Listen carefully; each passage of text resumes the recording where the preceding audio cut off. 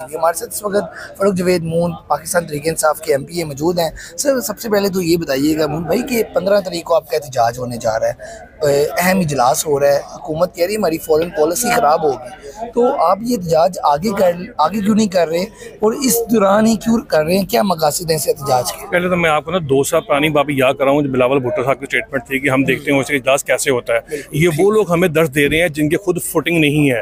ये जो किसी के इशारों पर नाचते हैं ये वो लोग हमें दस दे रहे हैं।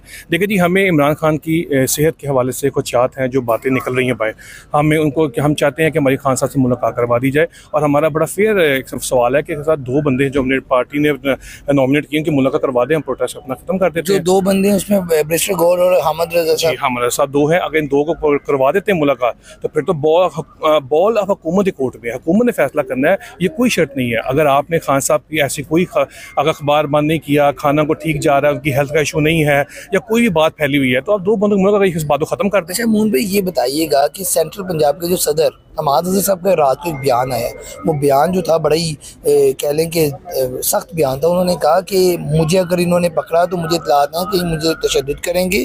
कत्ल करने के हवाले से भी बात हुई। उन्होंने खुद भी कही और फिर उससे पहले हमद रजा साहब ने भी ये बात की कि इन लोगों को, तीन लोगों को मियाँ असलम इकबाल हमाद अजहर और मुरासद को कत्ल कर देंगे। ये जो खबर है, ये आप बड़े क्लोज हैं। क्या कहेंगे आप? क्या क्यादत से क्लोज हैं? इस तरह की खबर, बाखबर भी हैं? क्या कहेंगे इस पर सर देखिए ये खबर तो उसको कन्फर्मेशन हम रजा ही कर सकते हैं लेकिन ये है कि इन तीनों को डर तो है। खान साहब ने जब भी बात इन तीनों के ऊपर हुई है माँ साहब पे असलम बाल पे और मुराद सईद उन्होंने यही कहा कि आप लोगों ने बाहर नहीं आ रहा अच्छा। ठीक है खान साहब ने जब भी आया मीडिया के थ्रू मैसेज आया कि खान साहब आपने छुपे रहना क्योंकि ये लाभ को मिसिंग पर्सन करेंगे गायब भी कर सकते हैं। तो इसलिए खान साहब को डचीन है खान साहब के डचीन के बाद हम मेरे ख्याल में डचीन हमारा बोलना खान साहब ने तो ये कह दिया आप आप कह रहे हैं कि मीडिया ने कहा कि नहीं मिला लेकिन अब तो उन्होंने ऐलान कर दिया कि मैं पंद्रह को लीड करूँगा हम तो वो आएँगे पंद्रह को? जी बिल्कुल अगर तो आज मुलाकात हो गई। तो फिर तो प्रोटेस्ट आपको पता होगा नहीं। अगर ना हुआ तो बिल्कुल जोखिम में डाल के ही आते हैं। आसानी नहीं होती उनके लिए। लास्ट टाइम फील्डिंग में लगी हुई थी लेकिन वो हाँ। फिर भी बचत होगी उनके खाने वाले जलसे में। खाने वाले जलसे में। लेकिन इंशाल्लाह हमें पूरी उम्मीद है कि मुझे पहले उम्मीद तो ये है कि हुकूमत होश के नाखुन ले और मुलाकात करवा दे। अगर नहीं होता तो कल प्रोटेस्ट होगा और हम साहब उसको लीड करेंगे। लास्ट में ये बताएँ अली मीन गंडापुर साहब जो है वो भी एहतजाज में डी चौक वाले में। अगर खान साहब से मुलाकात नहीं होती तो वो भी आएँगे? इस वजह से भी पार्टी फैसला कर रही है ये हो गया पार्टी का फैसला तीन बजे करीब मीटिंग थी उनकी अपने अच्छा। सब स्टेक होल्डर्स के साथ।